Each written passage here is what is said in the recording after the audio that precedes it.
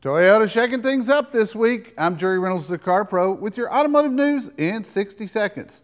Toyota's announced that it's pulling the plug on its electric battery deal with Tesla this year.